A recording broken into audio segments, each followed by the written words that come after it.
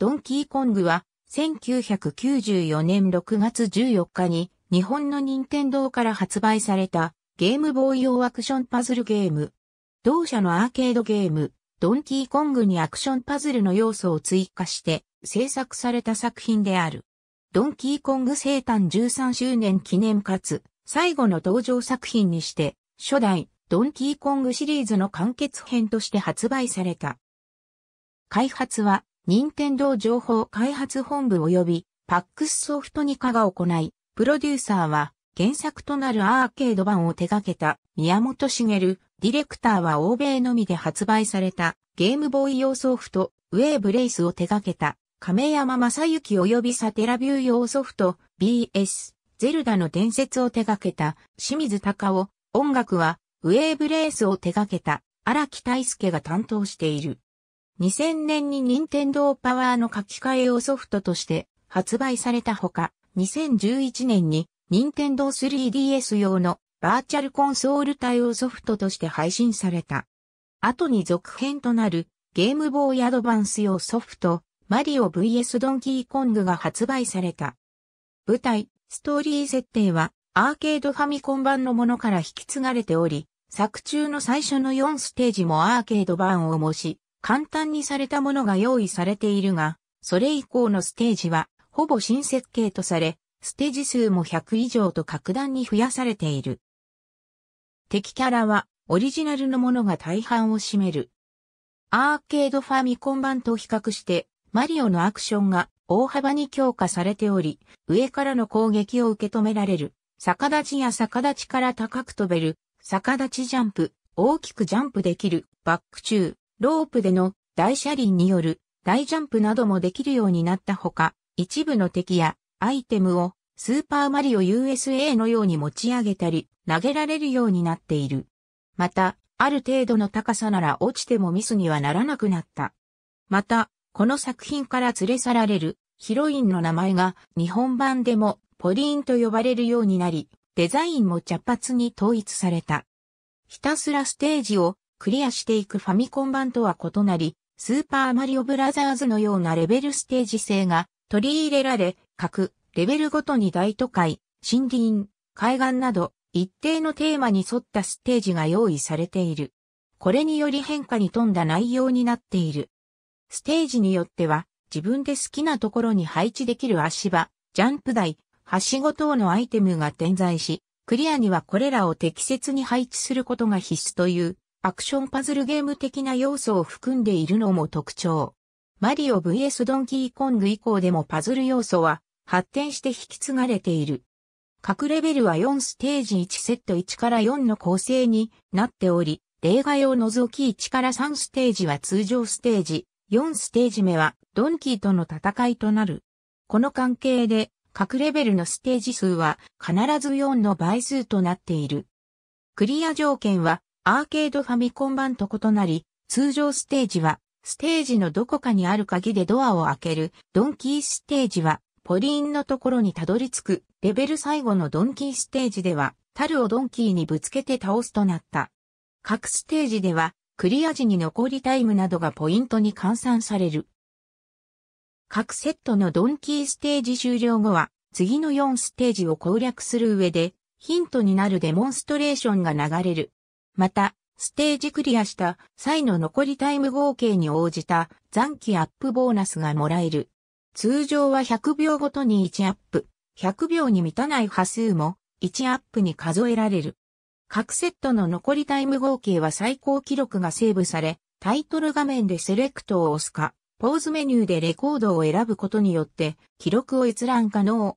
記録更新時にはデモンストレーション中にタイムが点滅してわかるようになっており、自動セーブされる。アーケード版でのバッグ、帽子、傘のアイテムも健在で、面クリア時にすべてのアイテムを集めていた場合は、ボーナスステージが始まる。セーブは4面ごとのドンキーステージ攻略後及び、ポーズ中に可能。ただしポーズ中セーブの場合は、再開時に各区切りの最初のステージからになる。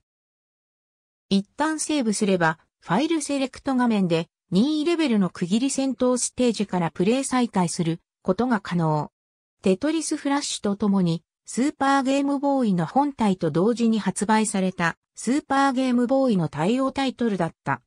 発売当時は取扱説明書のほか、スーパーゲームボーイ使用時における操作方法を記したチラシが別に付属されていた。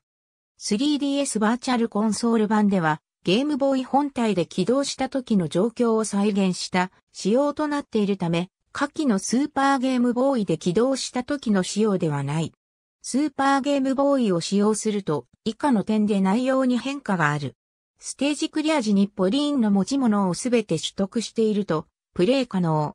2種類あり、ステージクリア時の残りタイムが奇数の場合は、スロット、偶数の場合はルーレットになる。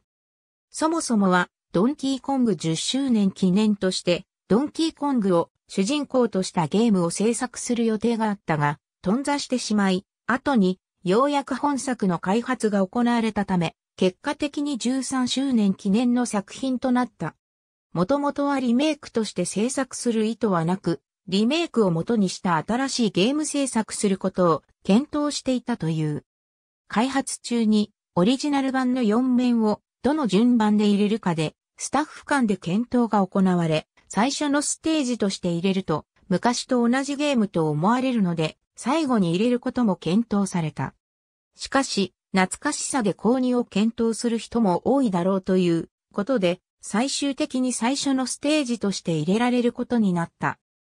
アーケード版にタイムがついていたのは、タイムアタックをして遊ぶためではなく、初代ドンキーコングでは絶対に敵にやられない場所があり、ゲームセンターで、そこにマリオを置いたままだと機械がずっと動き続けることになるため、時間が来るとゲームオーバーになる仕様にしていた。しかし、本作ではタイムアタックという新たな目的として設置した。アイテムの導入に関しては、プレイヤーが自分でマップを作れるようにするという企画で進行しており、プレイヤーが別の攻略ルートを作れるようにマップを書き換えられる機能を入れることが検討された。また、そのような機能がついたロムがあり、プログラマーの平島正幸が制作ツールとして制作し、どこでもマップが作れるようになった。しかし、開発側では低年齢層には難易度が高いのではないかとの懸念があったため、ゲームの中の一部分として使用するという意図で、アイテムという形となった。本作がアクションパズルとなった理由は、エディットアイテムの導入によるが、パズル要素を入れようとした最初の理由は、ゲームボーイの画面では、長いスクロールだと、キャラクターが早く動いた時に見難いため、1画面半の小さいスクロールにすることを決定していたためである。